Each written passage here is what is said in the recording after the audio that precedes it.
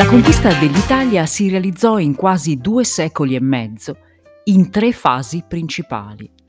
Nella prima, dal 496 al 396 a.C., Roma conquistò il Lazio, sottomettendo via via gli Etruschi e gli altri popoli che erano stanziati in quest'area, i Volsci, gli Equi e i Sabini. Dal 343 al 290 a.C., e siamo alla seconda fase, Roma si scontrò con i Sanniti, una popolazione appenninica originaria del Sannio, regione che corrisponde agli attuali Molise, Abruzzo meridionale e parte della Campania.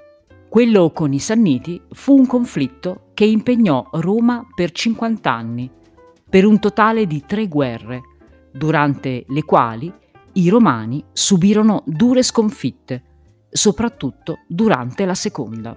La terza guerra sannitica fu ancora più aspra delle precedenti, perché ai Sanniti si unirono questa volta gli Etruschi, gli Umbri e persino i Galli, stanziati nell'Italia centro-settentrionale. Lo scontro decisivo si combatté nel 295 a.C. a Sentino, nelle attuali Marche, e si concluse con la vittoria dei Romani.